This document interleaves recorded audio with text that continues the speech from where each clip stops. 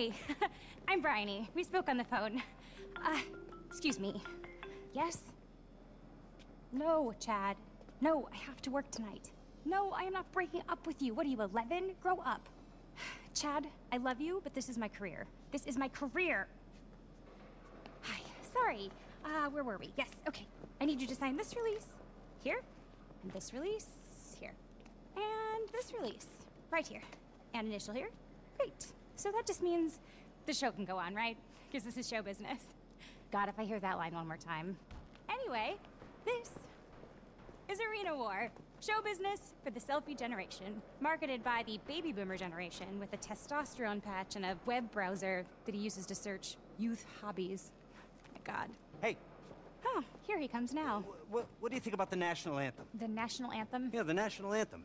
It's uh, like a sports event. Patriotism is back. It's like heroin. Uh, but it's not a sport. Our tagline is this isn't sports, this is life and death. Well, it's gonna be a sport someday. I mean, like football and soccer, only in cars. I mean, young children will one day dream of smashing their brains into a pulp in cars, not the gridiron. These people are heroes. Okay, I, still think the national anthem is a bad idea. Yeah, well, maybe.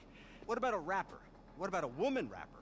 How about one of those people that does things online? Or uh, sex. More sex. Modern sex. Listen to me. I may be a dinosaur, but trust me, Adam still likes to do the nasty with Eve. My generation did not get that wrong. Cars and sex. Get me more sex. Welcome to Alan Jerome Productions. I'm Al Jerome. Love the outfit, by the way. Do you want to drive? Are they going to drive? Uh, they signed a release. Well, that means something's happening. Hey, this is Vinewood after all. Hey, ciao, Bella. I gotta go work out. Oh, I want to stab him with a fork. I'm such a sellout. Film school. I went to film school. All that money. I want to make art. Sugar? It's Bryony. Hey, for the record, Bryony sounds like a man. No, it doesn't. Brian sounds like a man. Bryony sounds like I had a narcissistic father named Brian. That's cute. I like that. I need a green tea up to the booth. And tell all the talent to get out there. We've got art to make. Okay, okay. All right. You get dressed, take the car, and get out there. Don't break a leg, and uh, and then we'll we'll show you around. And good luck. Just sort of smash things and listen to the Is commentator. Jack Cranley coming in? Where's my tea? I need a tea. Coming, Alan. Al,